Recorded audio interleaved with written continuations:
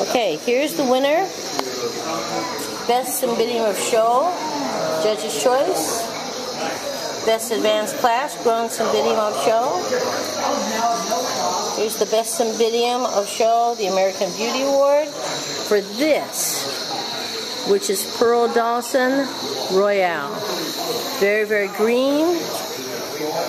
Very, very dark cranberry red lip. Very, very pretty. Here's also Lake Nakuru. Little Pinches is probably a first time sealing. Devonianum by Mimi Mary B. Here's a Gladys Whitesell. Darkish yellow, nice Pinches, excellent spice spacing. Fifi by Parishii. Here's some, uh, looks like Tampa Bay Windermere. Very spotty.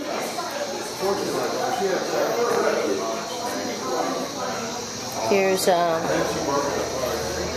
really, I love the spike. And it's hard to appreciate. It's a very, very dark orange, but my camera doesn't pick that up. This is Tampa Bay, I'm sorry. This one's Golden Buddha, which is behind the parents of quite a few plants. Short spikes, but very nice, really pretty flowers. Very, very nice. Uh, Frank Kajikama. This is uh, Elliot Rogers, old cross. This is Sleeping Dream Tetra, nice alba, between a pale yellow and sort of a white with a gold lip. And uh, here's a big plant of Valley Splash Awesome.